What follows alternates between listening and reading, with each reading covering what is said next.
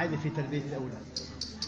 أنا بالنسبة لي عملت بالتعليم 33 سنة. بكل مراحل التعليم حتى الجامعة. لا أجد صنعة أقرب إلى الله كالتعليم. النبي الكريم بيقول إنما بعثت معلما. هالنص هذا شرف لكل معلم. بعثة النبي التعليم.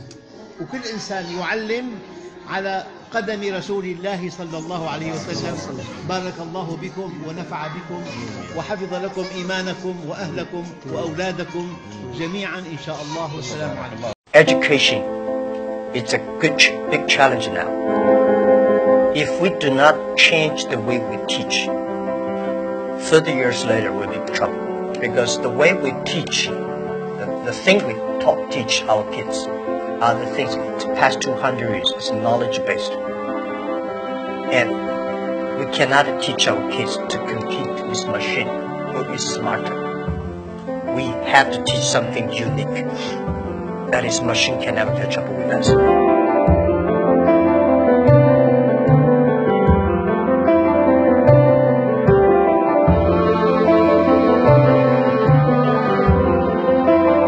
Value,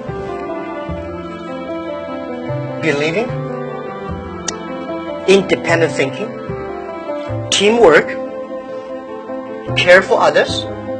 These are the soft part the knowledge may not teach you that.